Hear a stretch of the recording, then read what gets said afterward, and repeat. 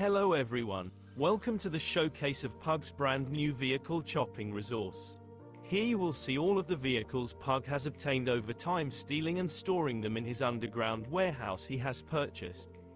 As you can see all the vehicles are stored nicely and locked up.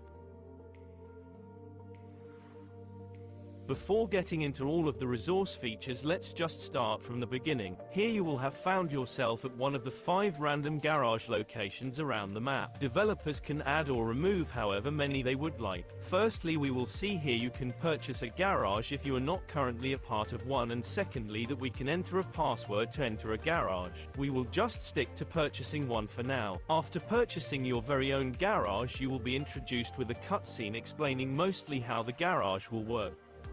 This is of course optional through the configuration whether or not this cutscene will play for the player or if the player will just enter the garage and explore the warehouse themselves to figure it all out.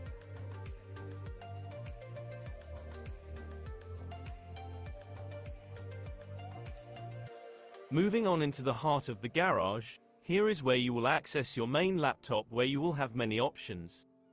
Your garage will come stock with 5 available vehicle slots.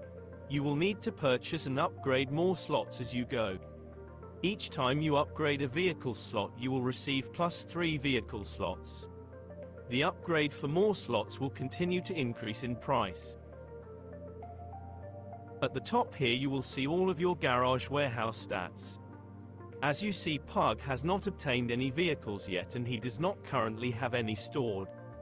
Here we will be able to change the password of our garage to allow friends use our garage upgrades, storage, welding bench, crafting bench, or arcade machine if they like. However, they will not be able to access our laptop and all of its features when using this password. Here this is where we can manage our warehouse garage members.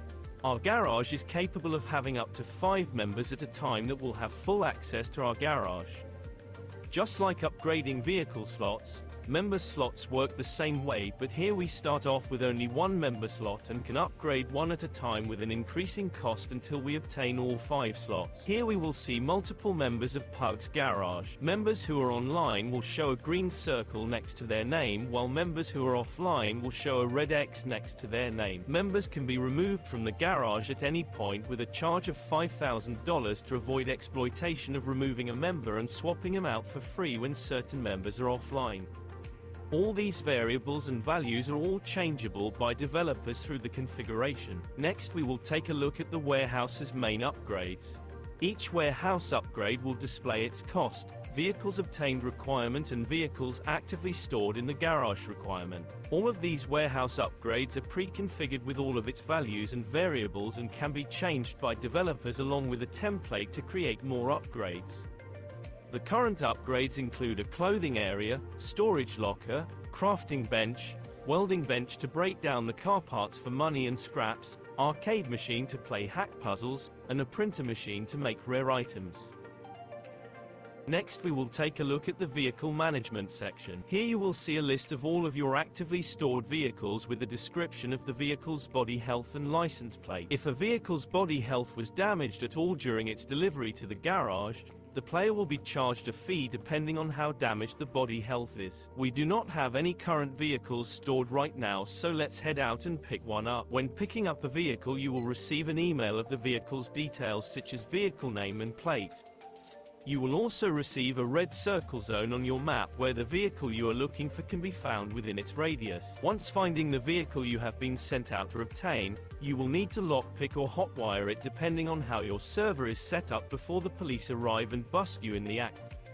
Taking the vehicle back to our warehouse is the unsafest part here as we have to be cautious of any body damage we have while also doing our best to avoid the police.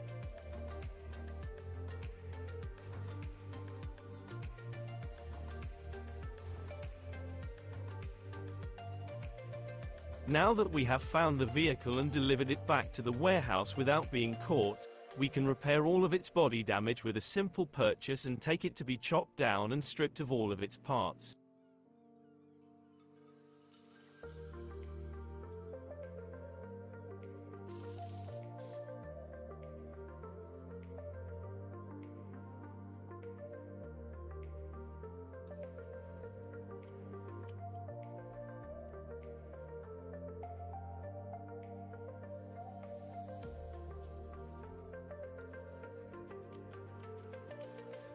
Now that we have taken our vehicle to one of eight chop yards around the map, we can begin to strip the vehicle down of all its parts.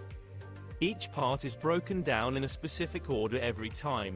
The trunk is the best part of the vehicle to break down and search as it has the highest chance of giving rare items and valuables.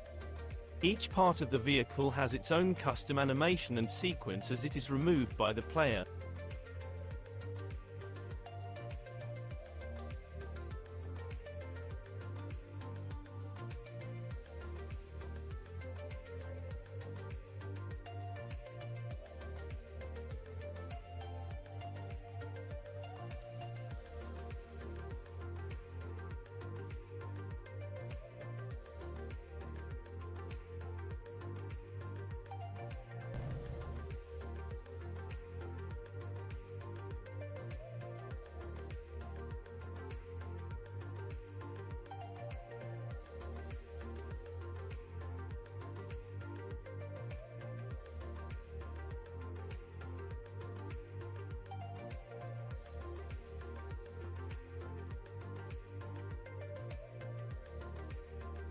Finally we can sit in the vehicle to crush it forever and receive a small money bonus.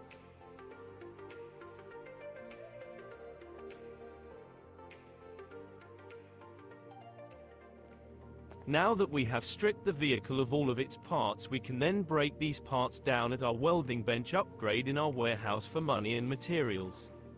Before being able to break down these parts we must first progress enough in our garage to be able to unlock this welding bench upgrade of course.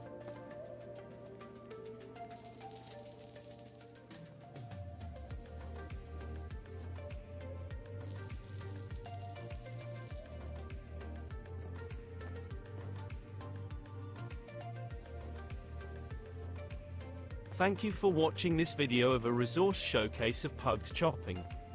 If you would like to purchase this resource, it can be found in the description of this video and in the comment section. The rest of the video will be showing off some of the warehouse upgrades. But that is all for me everyone. I hope you have a wonderful day. I am out.